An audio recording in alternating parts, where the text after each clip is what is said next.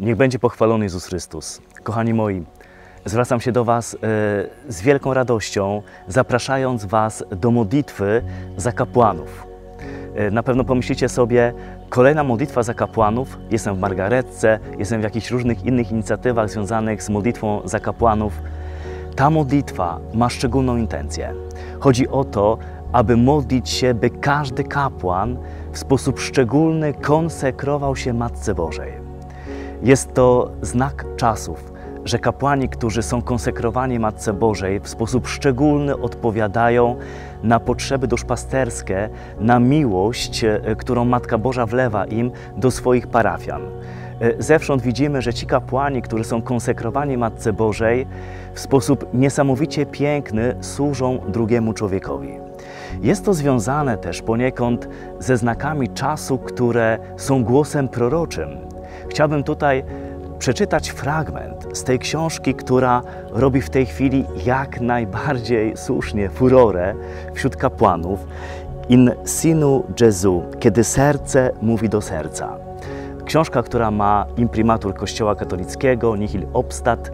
Książka, która jest e, zbiorem słów Pana Jezusa, które przez anonimowego oblata benedyktyńskiego Jezus kieruje do wszystkich kapłanów. Posłuchajcie proszę tych słów, które Jezus mówi temu kapłanowi. Pan powiedział mi o kapłańskiej pięćdziesiątnicy, łasce otrzymanej za wstawiennictwem dziewicy Maryi dla wszystkich kapłanów Kościoła. Im wszystkim będzie zaoferowana łaska nowego wylania Ducha Świętego, by oczyścić kapłaństwo z tego wszystkiego, co je zniekształca i by przywrócić nieskazitelność świętości, jakiej Kościół nie miał od czasów apostołów. Niesamowite. Ta kapłańska pięćdziesiątnica jest już przygotowywana w ciszy i w adoracji Najświętszego Sakramentu. Kapłani, którzy kochają Maryję i którzy wiernie odmawiają jej różaniec, będą pierwszymi, którzy z tej łaski skorzystają. Ich kapłaństwo zostanie cudownie odnowione i otrzymają obfitość charyzmatów, aby pokonać zło i aby uzdrawiać tych, którzy są pod wpływem złego.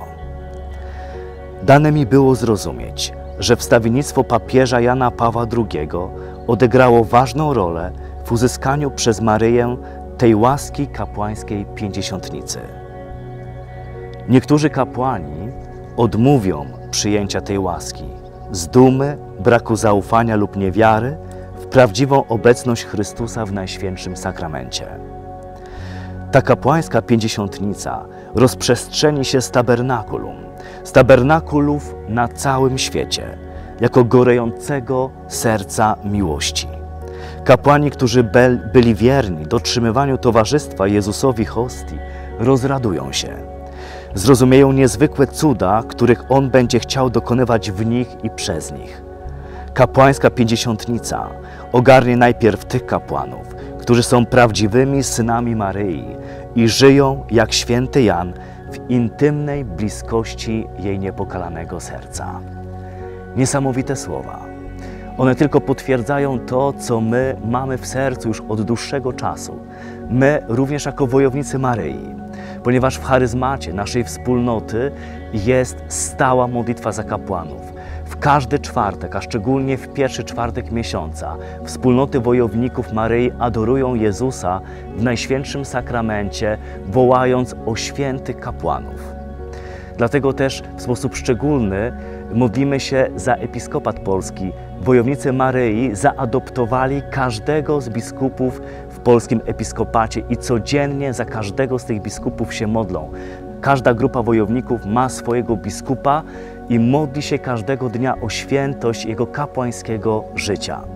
Dlatego jest mi bardzo miło i czuję się uprzywilejowany, że mogę zaproponować tą modlitwę za kapłanów jeszcze raz w tej intencji szczególnej, żeby każdy z nich konsekrował się całym sercem Maryi, ponieważ widzimy niesamowite owoce w kapłańskim życiu tych, którzy przylgnęli do niej, tak jak święty Jan, w najbardziej intymny sposób, żyjąc z nią w ukryciu, kiedy ona wyprasza niesamowite łaski dla odnowy w świętości kapłaństwa.